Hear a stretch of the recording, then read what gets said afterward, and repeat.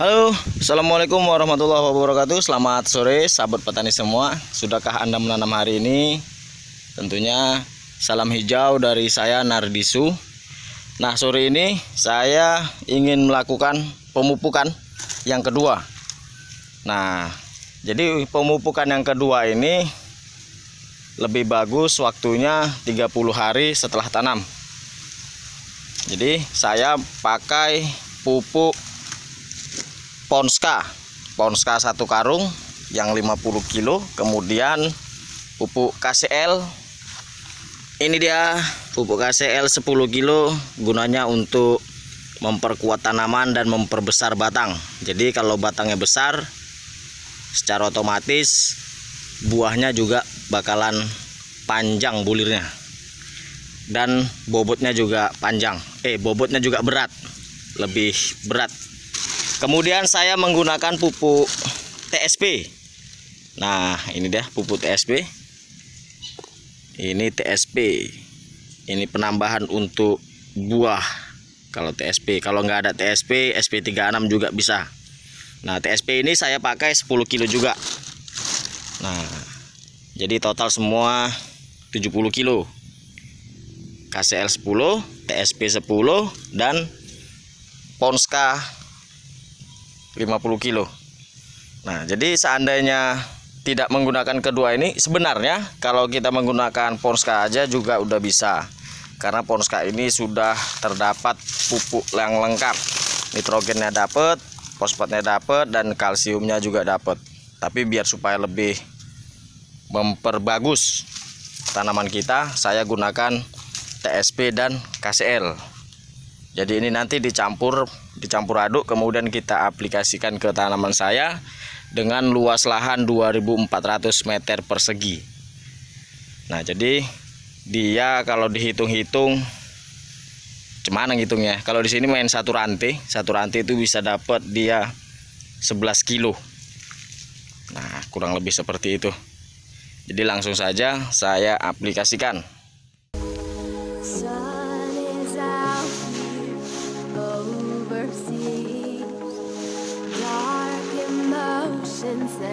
torn so deep, falling down through the clouds.